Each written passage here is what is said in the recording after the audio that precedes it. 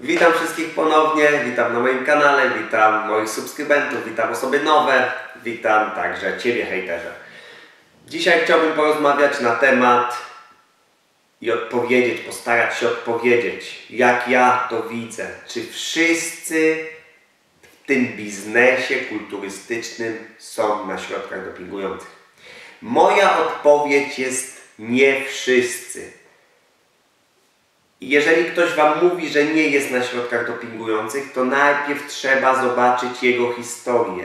Jak on się rozwijał krok po kroku. Jeżeli nie jesteś pewny, bo w niektórych oczywiście przypadkach ja nie muszę obserwować, ani nie muszę prześledzić, prześledzić historii tego gościa, danego osobnika, bo ja już wiem, że on jest na środkach dopingujących.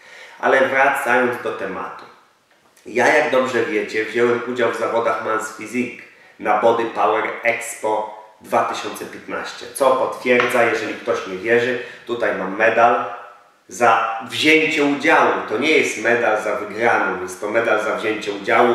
Tutaj mam kartę członkowską UKBFF i tutaj mam bilet VIP-owski, na którym e, weszłem na te zawody, a więc weszłem e, na Body Power Expo.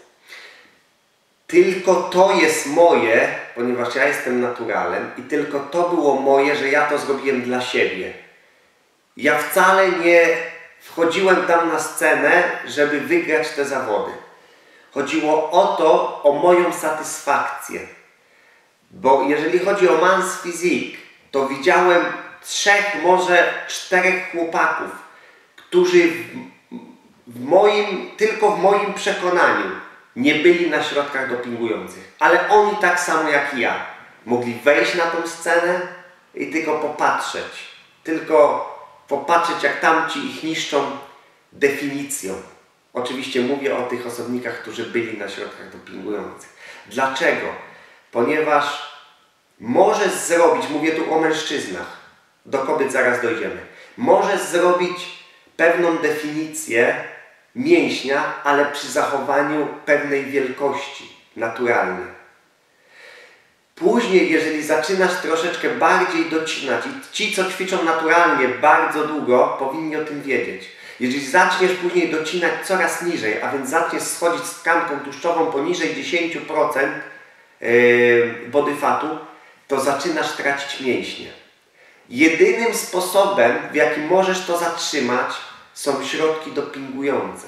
I dlatego widzisz osoby na scenie, które są od Ciebie większe lub są takiego samego rozmiaru, ale mają dużo mniejszą tkankę tłuszczową. Ponieważ oni zatrzymali mięśnie, zachowali mięśnie, a spalili tłuszcz. A to jest możliwe tylko i wyłącznie przy używaniu środków dopingujących. Następna rzecz, a więc doszliśmy do tego, że w Mans Physique nie wszyscy są na środkach dopingujących. Nie wszyscy, powtarzam. Jeżeli chodzi o kulturystykę, najpierw porozmawiamy o mężczyznach. Mężczyźni wszyscy jak jeden w kulturystyce, w zawodach kulturystycznych, ci co, ci, co chcą się liczyć, ci, co się liczą w tych zawodach, oni są na środkach dopingujących. Jeżeli ktoś wychodzi na scenę i nie chce się w ogóle liczyć, to może wyjść jako natural. Ale on w ogóle nie będzie brany pod uwagę. Dlaczego tak się stało? Dlaczego tak się stało? Co zmusiło chłopaków do brania środków dopingujących? Gwoździem do trumny w kulturystyce było to, że sędziowie zaczęli faworyzować gości większych a więc ten, kto był większy, miał lepszą definicję, wygrywał. Ale wiadomo było i sędziowie o tym dobrze wiedzieli, że te osoby, które wygrywały, te osoby, których oni faworyzowali, one były na środkach dopingujących. Następna rzecz, weźmiemy troszeczkę pod lupę kobiety. Jeżeli chodzi o kobiety, z kobietami jest troszeczkę inaczej ponieważ kobieta naturalnie nie może zejść do takiej tkanki tłuszczowej tak nisko jak ma mężczyzna, ponieważ każdy o tym wie, że u kobiety dominu, dominujący hormon jest to estrogen. Estrogen nie pozwala zejść tak nisko z tkanką tłuszczową jak mężczyzna, ponieważ u mężczyzny dominującym hormonem jest testosteron, a testosteron jest wrogiem tłuszczu. Dlatego mężczyzna może zejść dużo niżej z tkanką tłuszczową niż kobieta. Kobiety, które wychodzą na scenę, 99% z nich, nie będę mówił 100%, 99% z nich są na środkach dopingujących. I to nie jest wina tych kobiet. To nie jest wina tych kobiet. To jest wina sędziów. Sędziowie zmusili do tego kobiety. Dlaczego? Ponieważ bardzo dawno temu, jak wrócicie, cofniecie się wstecz, kobiety w fitnessie wyglądały jak kobieta. A więc nie było takiej definicji. Nie było takich zmian na twarzy. Teraz kobieta wygląda jak mężczyzna. Jest bardzo mocno docięta, ma dosyć dużą tkankę mięśniową, a więc ma dosyć dużo mięśni. A więc to, że kobiety wyszły na scenę i każda jedna sięgała po doping, u kobiet sprawa wygląda dużo poważniej niż u mężczyzn. To jest odpowiedź, dlaczego kobiety tak długo się wzbraniały przed używaniem dopingu na scenie. Ponieważ u kobiety po pierwszych dawkach testosteronu występują zmiany nieodwracalne. Uwaga, występują nieodwracalne zmiany, tak jak zmiana głosu, yy, włosy, owłosienie na ciele, przerost łechtaczki, dużo poważnych skutków ubocznych i z każdym zastrzykiem testosteronu jest tylko coraz gorzej. I naprawdę, jak ja byłem w Birmingham i ja zeszłem, zeszłem ze sceny, to ja poświęciłem tylko swój czas.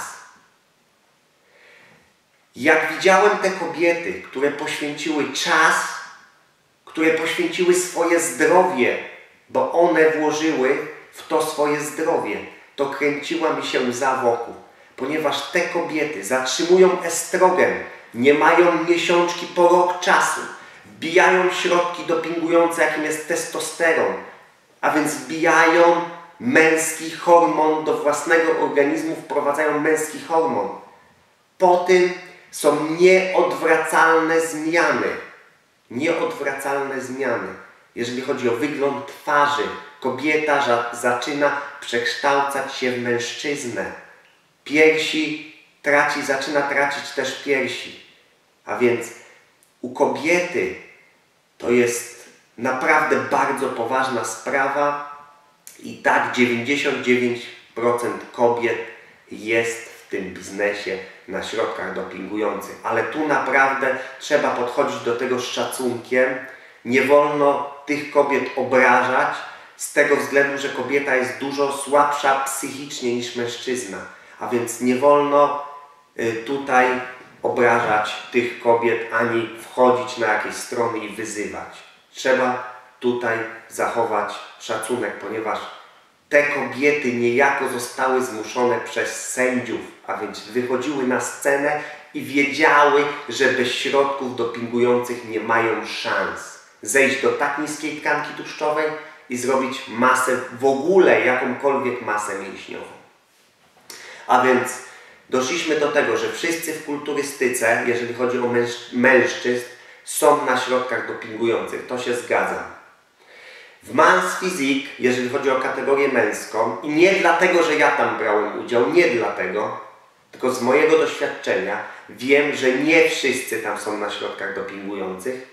I ci, co mówią, że nie są, to wcale nie są kłamcami, oni mówią prawdę, jeżeli chodzi o pewną masę, ale też trzeba brać pod uwagę wielkość osobnika i docięcie, a więc trzeba brać pod uwagę tkankę tłuszczową.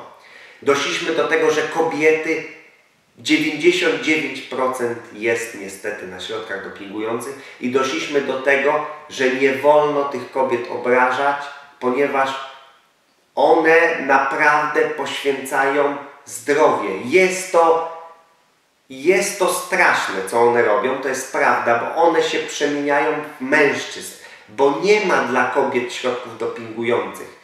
Nie ma sterydów dla kobiet. To są odpowiedniki męskich hormonów. I kobiety używają odpowiedniki męskich hormonów. Myślę, że teraz sprawa już jest jasna. Wszyscy wiedzą, jak się sprawa przedstawia. Także nie można od razu dyskwalifikować wszystkich i mówić, że wszyscy są na środkach dopingujących. Tak wcale nie jest. Mówią tak osoby, które chcą siebie wybielić, które już używają środków dopingujących, dlatego mówią, że jak ja używam środków dopingujących, to już wszyscy muszą używać środków dopingujących. A wcale tak nie jest. Ponieważ jakim prawem ktoś, kto ćwiczy 4-5 lat, może Ci powiedzieć, co jest osiągalne, a co nie. Ja wiem, co jest osiągalne, a co nie jest osiągalne. A jeżeli ktoś wbija środki dopingujące i zaczął od środków dopingujących, to nie jest w stanie powiedzieć, co naturalnie można osiągnąć, a czego naturalnie osiągnąć nie można. Myślę, że sprawa jest wyjaśniona. Dziękuję Wam wszystkim za uwagę. Dziękuję moim subskrybentom, dziękuję osobom nowym, że tutaj zawitaliście. Mam nadzieję, że ze mną zostaniecie i dziękuję Wam, hejterom, hejterzy, za łapki w dół. I na koniec, jak zwykle, to robię przypinka.